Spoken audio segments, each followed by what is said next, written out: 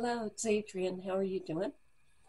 And I'm back today, um, officially ill, which sucks. But I've been playing with the makeup, and so I thought I'd go ahead and film the look. Um, I actually went ahead and uh, used some um, colors out of my Z palette, and I haven't been playing with my Z palette for a while.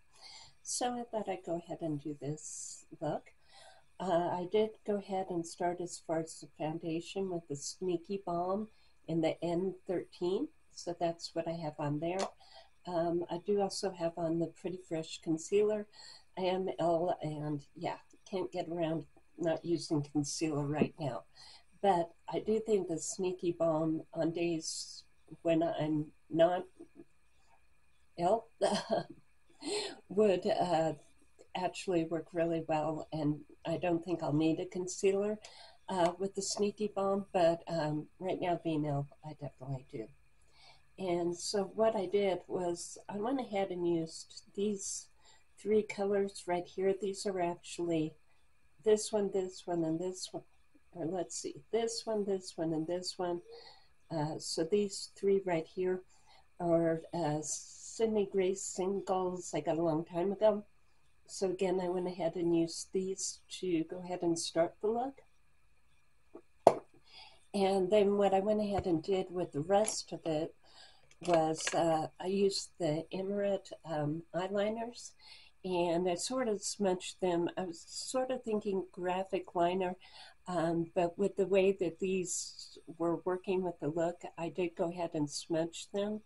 So I had the yellow on, then the orange on, and then the pink on, uh, orange and yellow again. So it does sort of, you know, it reflects each other on the bottom eyeliner. So I thought, or it reflects the top eyeliner on the bottom eyeliner. That's what I'm trying to say.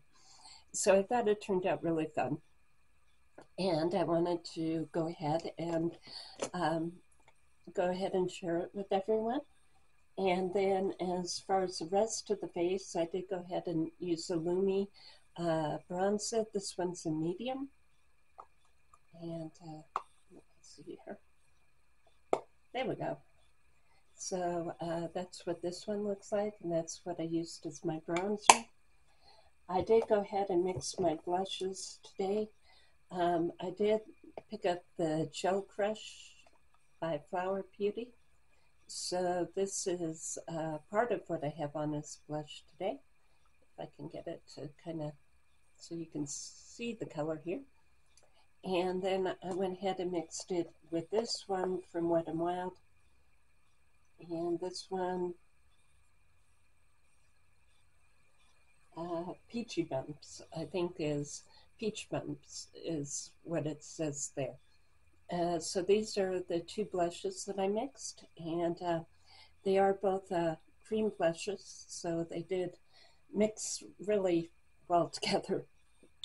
And um, let's see, what else did I go ahead and use on this particular look?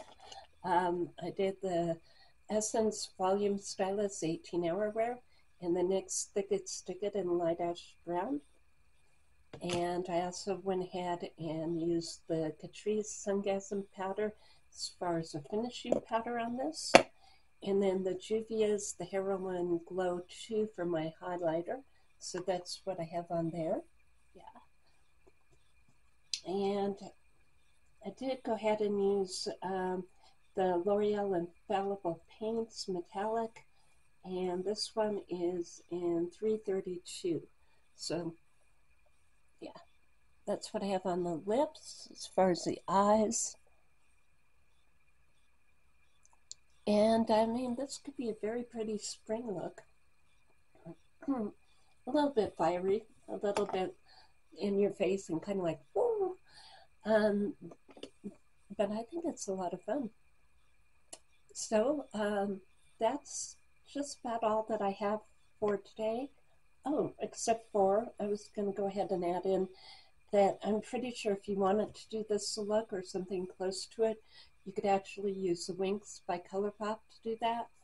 Um, you've got the yellow here, you've got the orange and um, then you also have the orange and a matte here.